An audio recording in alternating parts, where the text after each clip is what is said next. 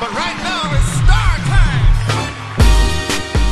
Hi, I'm Daniel Woodie and I'm an engineer here at the Cornell Nanoscale facility where we make a lot of nanoscale devices.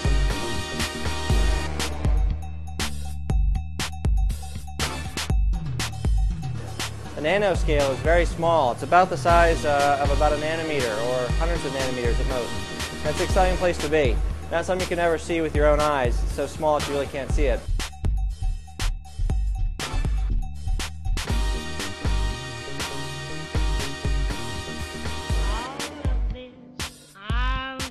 Photolithography. Photolithography is actually where we print with light. That's what photolithography means. Photo meaning light, and lithography meaning to print. So photolithography is printing with light. So every time you take a picture with your camera, in some extent you're doing photolithography. A little bit different than what we do here. This is a mask we use for testing the tools. It's got lines that range from 100 microns, or about the size of a human hair, down to about uh, to 1 micron, or a 1,000 nanometers.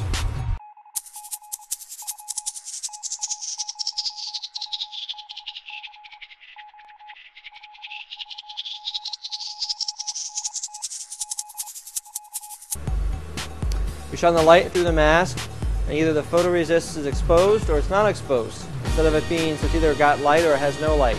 So again, that's why it's uh, black and white with only two colors uh, either exposed by light or not exposed by light. And then we're able to take the pattern that's on our photo mask and have it appear on our substrate, and then we can use that to help build our nano device.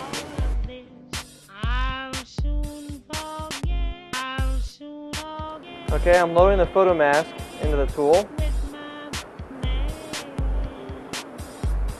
And it's going to pick the photo mask up. That will then allow me to load my wafer in.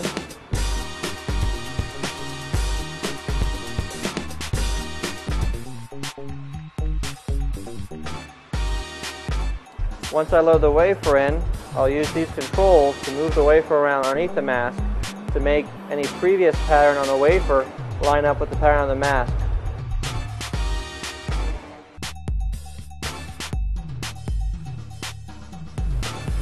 So now my wafer's been exposed and we can go and develop it. Sort of like developing film.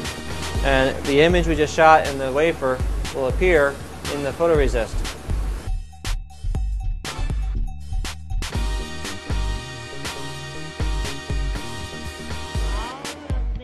Photolithography, or printing with light.